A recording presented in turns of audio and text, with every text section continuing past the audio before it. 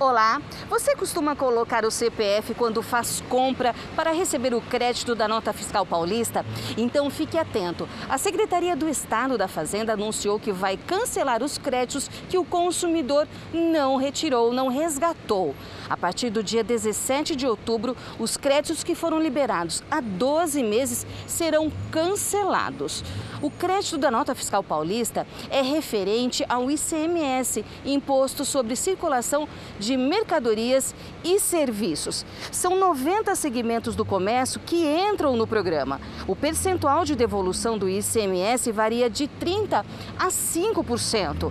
Uma peixaria e uma açougue, por exemplo, devolvem 30% do total do ICMS pago naquele mês.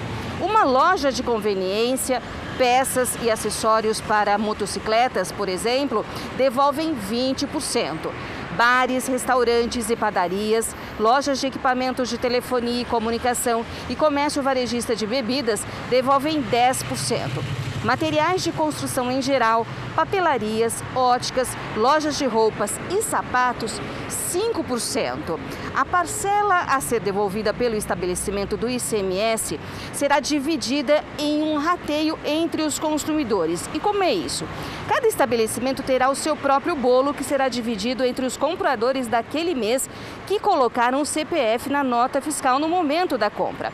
O tamanho depende de quantos consumidores colocaram o CPF naquele mês e o valor para o consumidor depende do valor proporcional ao valor da sua compra.